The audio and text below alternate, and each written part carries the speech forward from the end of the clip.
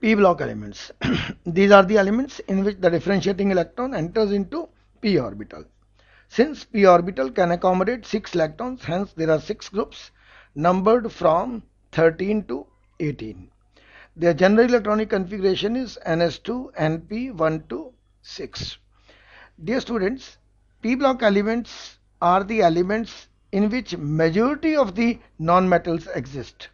Their group numbers are from 13 to 18. 13 is known as boron family, 14 is carbon family, 15 is nitrogen family, 16 is chalcogen means जो जनता के पास चल कर आते हैं or forming majority of the compounds you will or you will find they are in this group oxides sulfides then 17 is halogens halo means sea salt Jan many producer. So they are sea salt producers.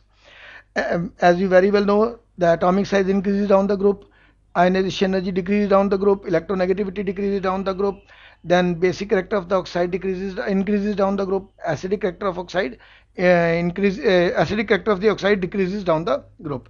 Now, aluminium and gallium have nearly the same covalent radii because you see aluminium follows S block elements. Gallium follows D block elements. D orbitals are poor shielders. So before gallium, the D orbital is fully filled. As a result, due to the poor shielding effect of D electrons of gallium, galvanium and gallium have got nearly the same size. They have got, uh, gallium has got rather higher ionization energy because of this. So the correct answer will be the poor shielding effect of D electrons of gallium atoms. Now, which of these elements has the highest first ionization enthalpy?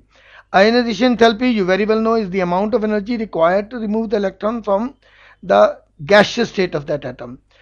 First electron, first ionization enthalpy means the first electron to be removed. In, in the case of 13th group, the electron is being removed from the p orbital. And as we move down the group, the ionization enthalpy decreases. So the very first element that is to say boron will have the highest first ionization enthalpy. Choose the element that forms the most acidic oxide.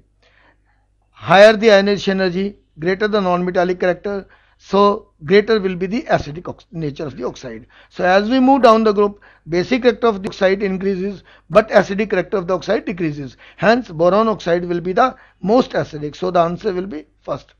Which of these is used as a desiccant? A desiccant is one which is which is used to remove moisture from the atmosphere. And second group elements, calcium chloride, that is used as a desiccant because of its high hydration energy. Hence the answer will be calcium chloride. Which of the following ion tend to hydrolyze the most? Smaller the size of the ion, greater the charge on the ion, so greater will be the polarizing power. So it will pull the electrons of water, oxygen of water towards itself. Oxygen hydrogen bond gets polarized. As a result, its tendency to hydrolyze will be maximum. So the answer among these will be aluminium ions. Which of the following is used as a drying agent for ammonia gas? Dear students, whenever a gas is to be dried, you have to see that the gas should not react with the drying agent. Otherwise, the very purpose of drying will be lost. By drying, we have to remove the moisture. Ammonia is a basic oxide.